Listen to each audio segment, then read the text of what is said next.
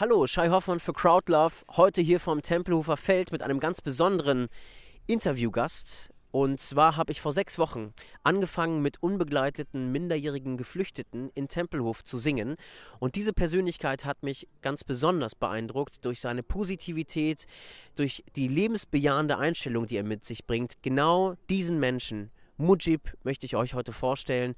Und deswegen treffe ich ihn heute für euch hier am Tempelhofer Feld. So Mujeeb, thank you for your time. Thank you for being here at the Tempelhofer Feld. I would be interested in how do you feel right now here in Germany? First, I just want to say that the situation that I I'm, I'm just looking this some places, the people out there, I just only watch it in the movie.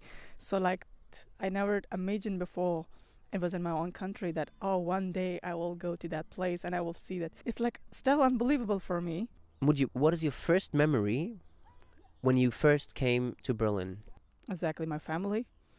Well, I just uh, because I got far away from them and I was just thinking, I don't know when I will able to visit them again or not. It's super hard to leave them, and I'm only the wife of their family, and uh, I hope that they'll also miss me a lot. What would you wish for if you have one wish? Just one word: education.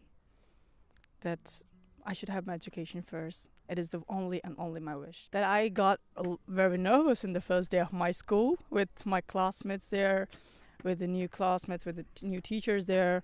But in the moment when I go step by step on some days it's like getting easier for me because I was just waiting like a month and month. Finally I got it. Mujeeb, what do you need to feel comfortable in a foreign place? The most important thing is here to feel comfortable is like a place for me.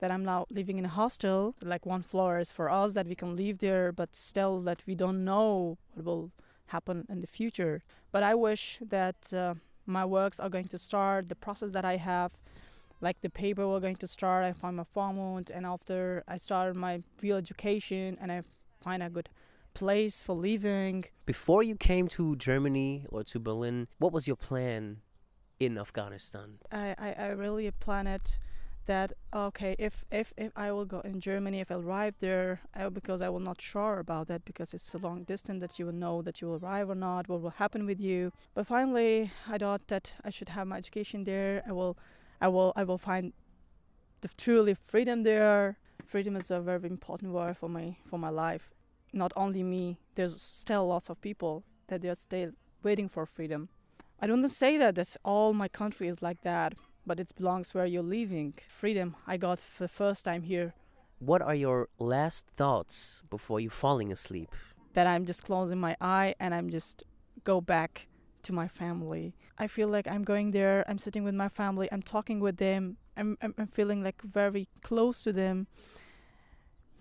Yeah. Please stay like you are. You are a wonderful person, and uh, whenever you need anything, you have my number. Call me, Mujib. Thank you very much. Thank you so much, I. And it's like a, I have a wonderful like interview with you, and I'm just feeling comfortable. Thank you, thank you so much. Und ihr guckt euch ähm, viele weitere Videos an, ähm, die wir hier haben auf Crowdlove, www.crowdlove.de und teilt es mit eurer Crowd und mit der Welt und ähm, wir freuen uns auf bald. Tschüss, liebe Crowd. Weißt du